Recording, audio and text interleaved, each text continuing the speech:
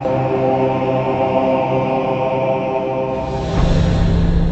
2008 Sebring. The Sebring's sleek exterior design captures the essence